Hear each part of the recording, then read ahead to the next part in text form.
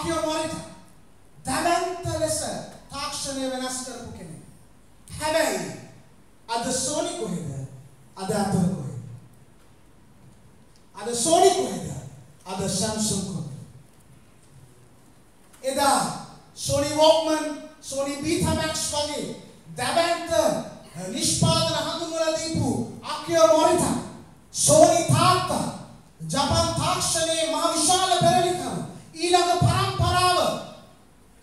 මේ කියන ප්‍රශ්නේ. Comfort zone preference. පහසු කලාපේ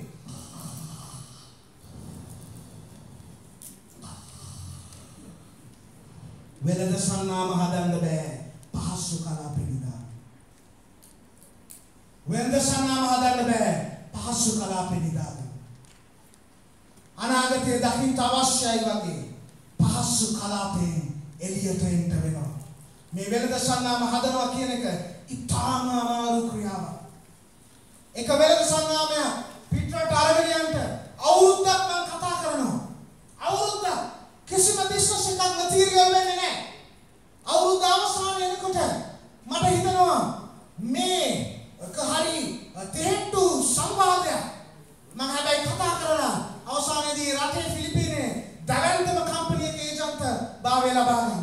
You can't develop brands by sleeping in the comfort zone. මේක ඔයාගේ දරුවන්ට කියලා දෙන්න. අපි දෙන්නගේ දරුවා මහන්සියලා ගෙදර ඇවිල්ලා නමයා මාරට විතර ඉන්නකොට එයාට නිදිමතයි පේනවා කොල්ල මෙහෙම. මම කතා කරලා කිව්ව දවසක් නිදිමතයි නේ. yes තාත්ති. මං කව බෙල්ල මෙහෙම කඩාගෙන වැටුණා. ඔය දවසට පැය තුනක් පාඩම් කරන්න ඕනේ පුතේ. ඔව් තාත්ති. මං කව පොත පෙරලගෙන ඉන්න පැය තුනක්. සමහර වෙලාවට ඔයාට ඔළුවට යන්න නැති වෙන්න පුළුවන්. ඔයා මේ පොත පෙරලගෙන මේ පහසු කලාපේ නිදාගෙන බ්‍රෑන්ඩ් හදනවා නම් මේ 500 ඔයා හිටියට වැඩක් නැහැ. මං ආවේ මෙතන බොරු කරන්නවත් ඇමති කෙනෙක්ගේ පිට කරන්නවත් මං එහෙම කරන්නේ නැහැ. මගේ ස්වභාවය දන්නවා. මං ආවේ හෘද සාක්ෂි එකදව ඔබව ධෛර්යවත් කරලා යන්න මේ වැඩසටහන කරන්න. වෙනද සංගම හදන්න බෑ නිකම් පොඩි නායක හම්බුණා. You just can't make plans just because that you get a loan from the government. It doesn't work.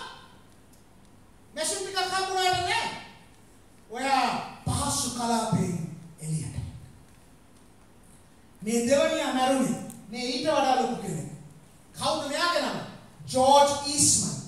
අපි ඒ දවස්වල කියන්නේ ඊස්මන් වර්ණ චිත්‍රපටි. ආච්චි චිත්‍රපටියක් බලන්න අරගෙන යනකොට අපි හරි ආසයි. ඊස්මන් වර්ණ චිත්‍රපටි. ජෝර්ජ් ඊස්මන් කෝඩක් සමාගමේ අයිතිකරු කෝටි ගණන් 36 මිලිමීටර් ෆිල්ම් රීල් එක විකුණනකොට එයාගේ වැඩ කරන එයාගේ නම ස්ටීවන් සැසර්. ස්ටීවන් ඇවිල්ලා කියනවා මෙන්න මේක ඩිජිටල් තාක්ෂණය මේක අපි කරමු. කෝඩක් සමාගම කියනවා පිස්සු කතා කරන්න එපා ස්ටීවන්. පිස්සුද?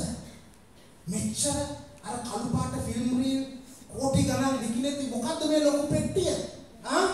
වර පිස්සු. කාටද කියන්න එපා.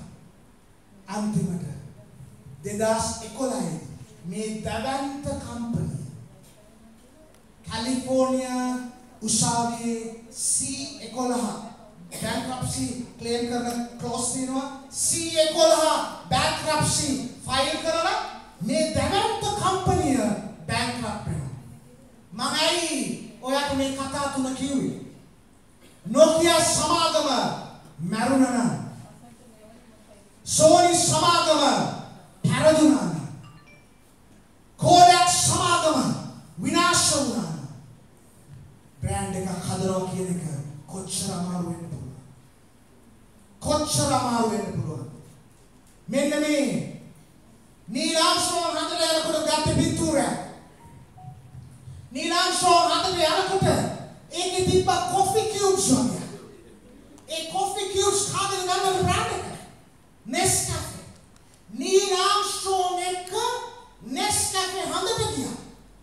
එඩ්මන්ඩ් හිලරි ආ එවරස්ට් හඳ නගිනකොට අන්න පොඩියට පේනවා Nescafe ටින් එක. Nescafe ටින් එකක් ගියා එඩ්මන්ඩ් හිලරිත් එක්ක එවරස්ට් Neil Armstrong එක්ක හඳට ගියා හැබැයි නෙස්කැෆේ උඩඟු උන්නේ නැහැ. නෙස්කැෆේ අනාගතේ දකින්න තු අන්ධ උන්නේ නැහැ. මම හන්දට ගියා.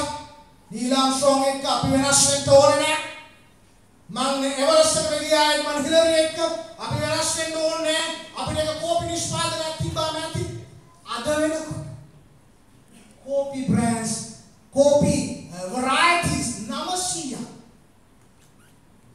මං අඳුරනවා ලංකාවේ ප්‍රසිද්ධම කෝපි සමාගමේ අයිතිකාර කෙනා ඊටම වැදගත් මහත්මයෙක් but අපි අවුරුදු කීයක්ද කෝපිත් එක්ක තාම අපිට එක variety එකයි අපි හිතනවා මේ variety එක පෝටර් රීකන් එක්කලා ගනි එයාගේ දිවට මේක හරියයි.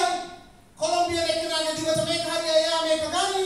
ඇමරිකන් එක්කලාගේ දිවට මේක හරියයි. එයා ඒක ගනි. එහෙම අපි හිත හිත ඉඳද්දි නෙස්කැෆේ සමාගම මේ අවුරුදු ගණනාවට කෝපි ಜಾති 900ක් ඒගොල්ලෝ තේරුම් ගත්තා මේ කොලොම්බියාවේ දිව වෙනස්. ඇමරිකන් එක්කලාට උදේ අවශ්‍යතාවය වෙනස්. දවල් අවස්ථාවේ වෙනස් මානසික පීඩනයක් වෙනකොට අවශ්‍ය කරන සැර වෙනස් අපිට ලෝකේ දකින්න බැරිකම සන්නාම හදන්න බැරි වීමට හේතුව.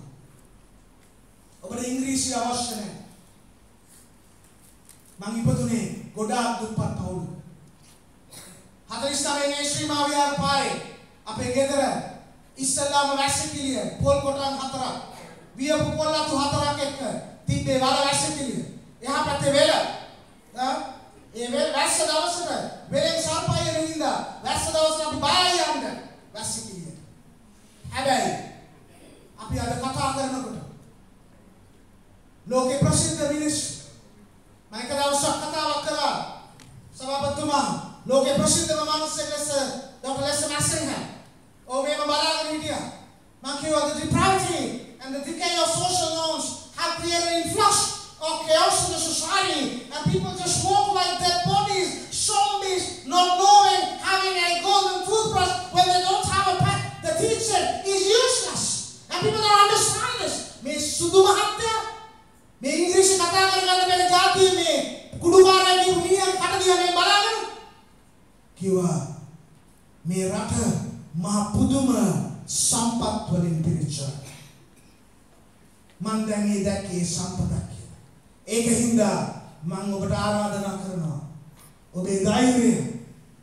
ඔබේ බ්‍රෑන්ඩ් එක හදන හීනේ කාටවත් හොරකම් කරන්න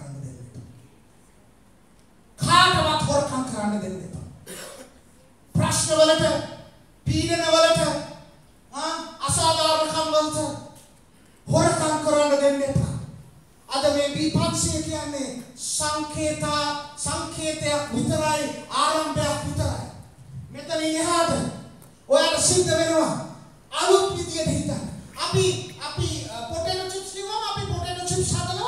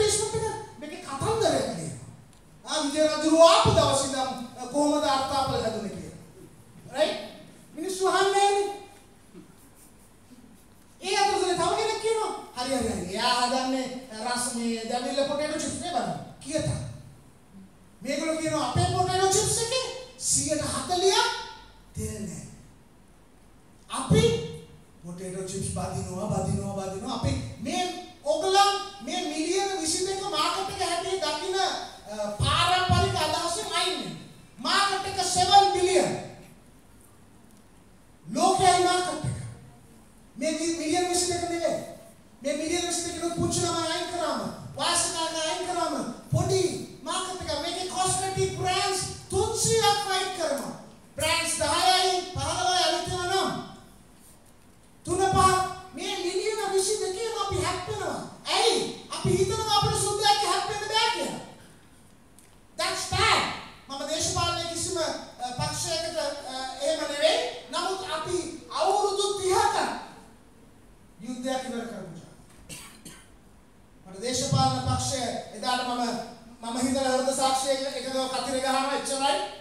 නමුත් අපි අවුරුදු 30ක අයිරිෂ් ගරිල්ලා අයරන් බාගලා හිටියා අයිරිෂ් ගරිල්ලාව ඉවර කරගන්න බැරි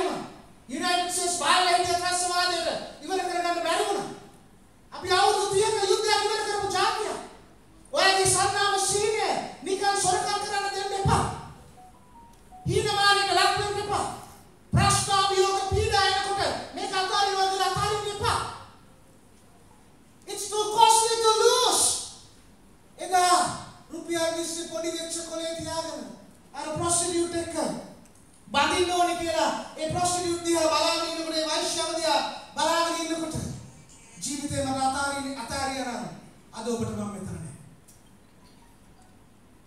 අද මගේ බලාපොරොත්තුව ඩිල්මා වගේ ඩොක්ටර් ෆිලිප් මේරි කිව්වහම ඇමරිකාවේ ට්‍රේනින්ග්ස් වලට කතා කරන වෙළඳසන්නාමය. UK වල ට්‍රේනින්ග්ස් වලට කතා කරන වෙළඳසන්නාමය වෙන්න. එවැනි විශාල විශාල රස්නේ තියෙන හීනයක් මට තියෙනවා මම ආරාධනා කරනවා. ඔයාගේ හීනේ තද ගෙදර යන ගමන් මෙහෙම පරිස්සමට පරිස්සමට වාහනයක නෙමෙයි නම් ආවේ. පාරේ කවුරු හරි ඇවිල්ලා මෙහෙම වෙන්නේ. මගේ හීනෙට අත තියන්න. මගේ පරම්පරාව මම පාන් වලට පරිප්පු ගාලා ආ කිරි නැති පරිප්පු ගාලා පාන් දුන්නාම මම 107 ආ ඇල කන්ද කළු කොයිල බස් හෝල්ට් එක ගාවදී ඒ පෙට්ටිය ඇරලා පාන් ටික දෙනවා එතන හිටපු හිඟන අම්මට ඇයි? මට ඉස්කෝලේ ගිහිල්ලා පාන් පෙට්ටිය අරින්න බෑ පරිප්පුත් එක්ක හැබැයි මමයි මගේ නෝනයි. අපි ජීවිතේ පටන් ගන්නකොට තීරණය කරා අපේ දරුවෝ පරිප්පුයි පානුයි ගාලා ඉස්කෝල වලට යන්නේ. මේ මේ අහිංසක කාන්තාව මං ජීවිතේ පටන් ගන්නකොට ඈ ලස්සනයි අලංකාර රූප රචනා. ඈ අපිට සල්ලි නැහැ කියලා දැනගෙන මට එක දවසක් කිව්වා ස්කර්ට් එකක් ගන්න කොහොම තාත්ති මට රුපියල් 500ක් දෙන්න. පමනෝ ගාව තියෙන පුංචි කඩේකින් ඈ ස්කර්ට් එකක් ගත්තා. එතකොට මගේ යාළුවෝ ඒගොල්ලන්ගේ භාර්යාවරු Louis Vuitton යන්නේ. Giorgio Armani, right? Paco Rabanne perfumes, right? මගේ නෝනා ලස්සන නෝනා රුපියල් 500 සායක් ඇඳගෙන ඈ ඉතා දැඩි කැපකිරීමක් කරනකොට මගේ රස්නේ හීනයක් තිබ්බා. උඹ කවදා හරි Mercedes Benz එක යනවා. උඹ කවදා හරි මේ කරන කැපකිරීම වලට මම වගේ පා කරපු මිනිහෙක් එක්ක ඇවිල්ලා කෝටිපති වගේ පස්සෙන් ආවේ. ආ ඒ මම වගේ පා කරපු මිනිහෙක් එක්ක ඇවිල්ලා කරපු කැපකිරීම වලට උඹ කවදා හරි Mercedes Benz එක යනවා. අද Mercedes Benz එක යනකොට මට දැනෙනවා මගේ රස්නට රස්නේ තිබ්බේ හෝප් එක මම ආරක්ෂා මම ඔබෙන් අහන එක ප්‍රශ්න මේ වෙනද සන්නාම හදන හෝප් එක.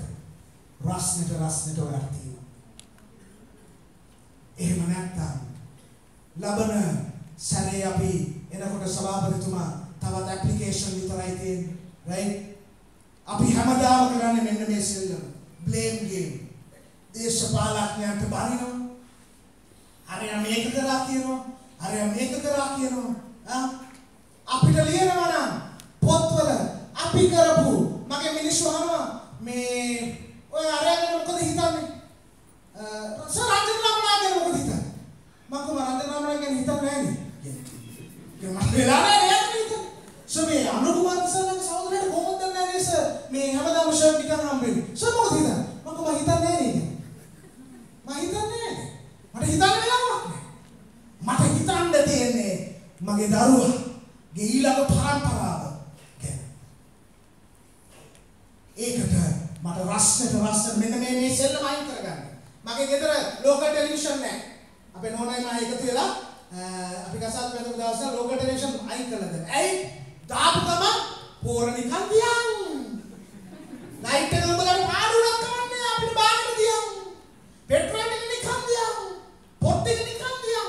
මං ඕනට කිව්වා බබා මේ මේ channel වහන්න මුන් හිඟා කන්න උගන්වන්න මේ පරම්පරාව. මේ පරම්පරාව මුන් හිඟා කන්න උගන්වන්නේ. no local television මගේ ගෙදර හරි ලස්සනයි දවල්ට ටීවී එකක් තියෙනවා no channel. for the last 17 years. මිත්‍රයෝ ඔක්කොම නාට්‍ය නාලිකාවල අය but no ඇයි අපි හිඟා කනවා. අපි පැමිණිලි කරනවා. right දැන් සමාන මෙතනත් ඉන්නේ සමාවෙන්න ණයක් දාගන්න පුළුවන්. මේ 500 සෙට් එක ණයක් දාගන්න නෙමෙයි එන්නේ. ෆයිට් කරන්න බ්‍රෑන්ඩ් එකක් හදන්න. හා? ෆයිට් කරන්න. මම ප්‍රියදර්ශන දන්නවා තරුණ කාලේ ඉඳන් ෆයිට් කරා ප්‍රියදර්ශන. හා? නිකන් අරයා මේක දුන්නේ නෑ.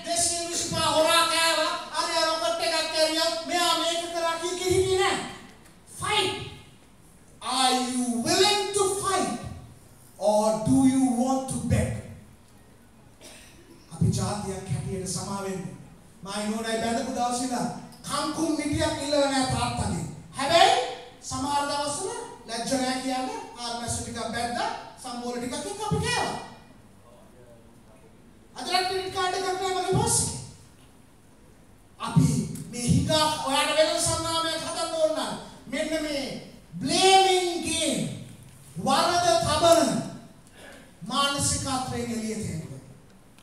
ඇවිල්ලා ෆයිටින් මානසික